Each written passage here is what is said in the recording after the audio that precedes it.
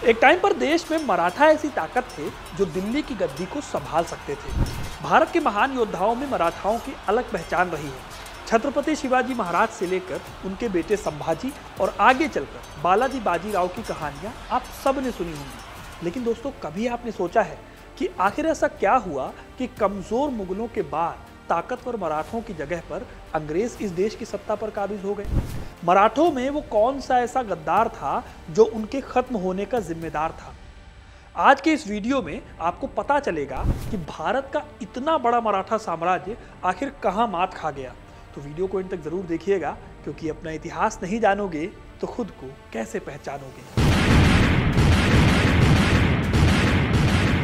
दोस्तों, मराठा साम्राज्य के पतन की शुरुआत होती है 1761 के बाद से।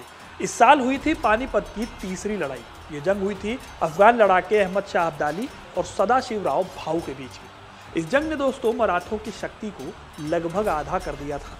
मराठों के कई बड़े सरदार इस जंग में मारे गए थे। तब मराठों के पेशवा, यानी कि पीएम थे बालाजी बाजीराव।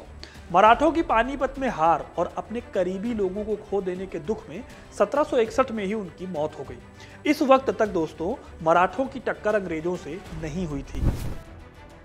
तो जब बालाजी बाजीराव की मौत हुई तो उनके बाद पेशवा बने माधवराव। ये बाजीराव के बेटे थे। माधवराव काफ़ी समझदार थे। जल्दी ही उन्होंने मराठा साम्राज्य को फिर उसी जगह पर पहुँचा दिया, जहाँ पानीपत की लड़ाई से पहले हुआ करता था।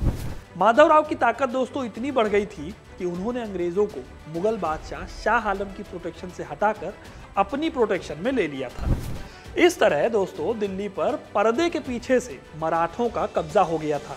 लेकिन उनके इस काम ने अंग्रेज़ों को मराठों के प्रति सतर्क कर दिया था। अब दोस्तों, देखा जाए तो मराठों की सबसे बड़ी प्रॉब्लम थी उनकी किस्मत।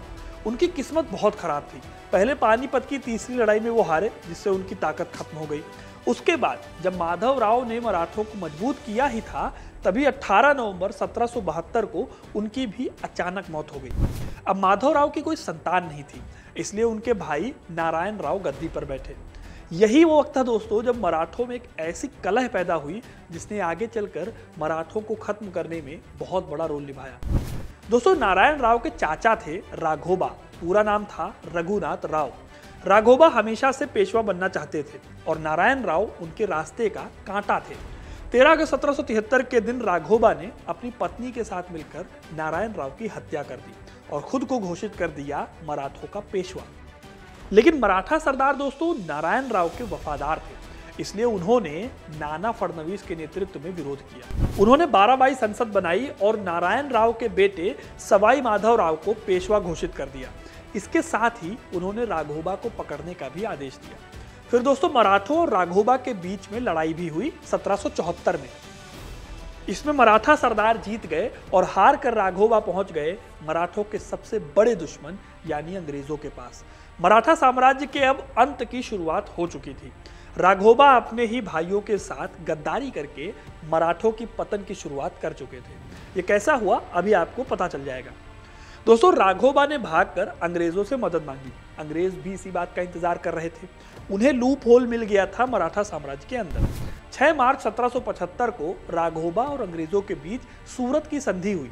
जिसमें अंग्रेज़ों ने कहा कि वो पेशवा बनने में राघोबा की मदद करेंगे। इसी संधि की वजह से 1775 में दोस्तों, पहला एंग्लो मराठा वॉर हुआ। इसमें राघोबा की मदद अंग्रेज़ों ने की, लेकिन सात साल तक चली इस लड़ाई को अंग्रेज़ हार गए। हार के बाद सालबाई की संधि हुई। अंग्रेज़ मानने को मजबूर हुए कि माधव राव नारायण ही असली पेशवा है। अब दोस्तों, ये था पहला एंग्लो मराठा युद्ध। ये युद्ध शायद नहीं होता, लेकिन राघोबा की वजह से मराठे अंग्रेज़ों से भिड़े और इसका खामियाजा आगे आने वाले कई सालों तक मराठों ने भुगता। अब दोस्तों ये कहानी का पहला हिस्सा है। आगे की कहानी समझने के लिए शॉर्ट में बता देता हूँ कि छत्रपति शिवाजी महाराज के बाद मराठों का पूरा संघ बदल चुका था। अब इस संघ में एक होते थे पेशवा, जो कि पीएम की पोस्ट होती थी। इसके बाद चार राजाओं का संघ मिलकर इसे चलाता था। इसमें बड़ौदा के गायकवाड़ थे, इंदौर के होलकर थे, उज्जैन के सिंधिया और नागपुर के भोसले थे, जो कि मराठा साम्राज्य को मिलकर चलाते थे। इन्हें ही मराठा सरदार भी कहा जाता था और आगे चलकर दोस्तों, इन्हीं मराठा सरदारों में फूट पड़ गई। अब अभी तक आपको ये समझ आ गया होगा कि मराठों में फूट पड़ चुकी थी, लेकिन उस वक्त पर इस फूट को बढ़ने से बचा लिया नाना फडणवीस ने।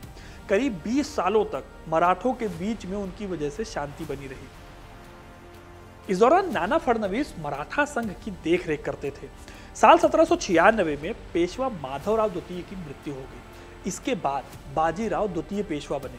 वो राघोबा के ही पुत्र थे, लेकिन वो बिल्कुल भी काबिल पेशवा नहीं थे।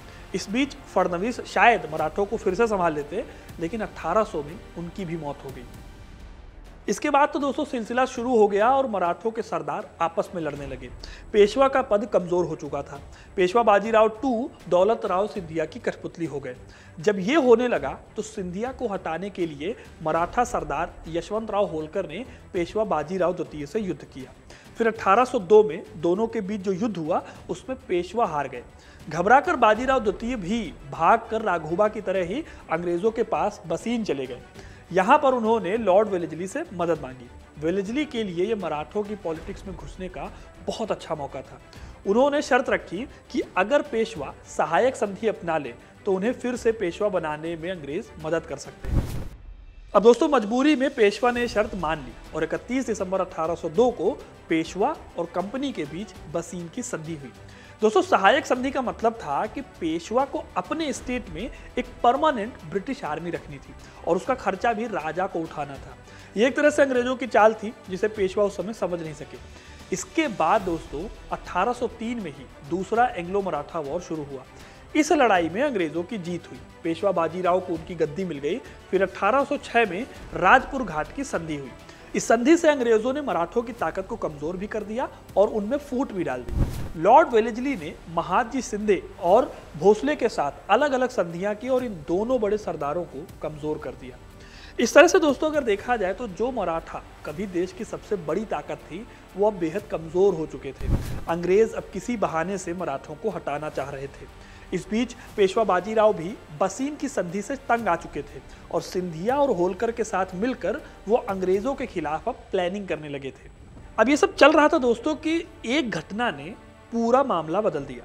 दरअसल पेशवा के एक मिनिस्टर ने गायकवाड़ सरदार के एक दूत गंगाधर शास्त्री की हत्या कर दी। अंग्रेज़ जो थे, ये इनके करीबी माने जाते थे। फिर क्या था? अंग्रेज़ों को मौका मिला और उन्होंने मराठों के खिलाफ जंग का ऐलान कर दिया। इस बार मराठों के पास अंग्रेज़ों से बड़ी सेना थी। नवंबर 1817 में तीसरा और आखिरी एंग्लो मराठा वॉर शुरू हो गया। इस जंग में मराठा सरदार मिलकर लड़े, लेकिन वो अंग्रेज़ों से पार नहीं पा सके। होलकर वंश ने महीदपुर में अंग्रेज़ी सेना पर हमला किया, लेकिन हार गए। इसके बाद अंग्रेज़ी कंपनी द्वारा होलकर वंश के साथ मंदसौर की संधि की गई। इस लड़ाई में हार के बाद दोस्तों, बाजीराव द्वितीय, साउथ इंडिया भाग गया।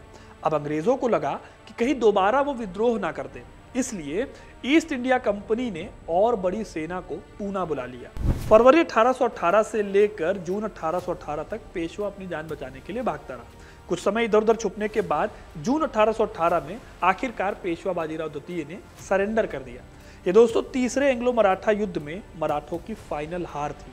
अंग्रेज़ी कंपनी ने पेशवा के पद को ही इसके बाद खत्म कर दिया। बाजीराव द्वितीय को उनके साम्राज्य से अंग्रेज़ी कंपनी ने बाहर निकाल दिया और कानपुर के पास बिठूर भेज दिया। इस तरह अंग्रेज़ों ने पूरे मराठा साम्राज्य को अपने कंट्रोल में ले लिया।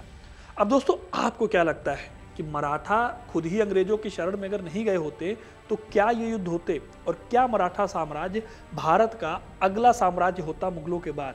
अपनी राय में कमेंट में ज़रूर बताइएगा। वीडियो को लाइक और शेयर करना ना बोले और ऐसी इंटरेस्टिंग कहानियों के लिए हिस्ट्री कनेक्ट को सब्सक्राइब ज़रूर करें। धन्यवाद।